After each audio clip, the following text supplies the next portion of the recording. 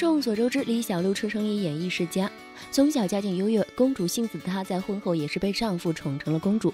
关于李小璐出生于演艺世家，大家只知道她的母亲是老一代知名女演员张伟欣，也曾是圈内有名的花旦。据了解，年轻时的张伟欣非常漂亮，还被第二十五届卡罗威法利国际电影节评为最漂亮的女明星，可见她年轻时候的倾城容貌。李小璐的出身绝不仅仅是因为母亲张伟欣，很多人都不知道李小璐的父亲是谁。李小璐的父亲就是李丹宁，曾经是八一电影制片厂的导演、演员，也是最早一批文艺工作者。李小璐三岁的时候在制片厂的大院里玩，正好赶上电影制片厂要找一个小女孩拍摄计划生育的宣传片，就这样选中了颜值高、眼神纯净的李小璐。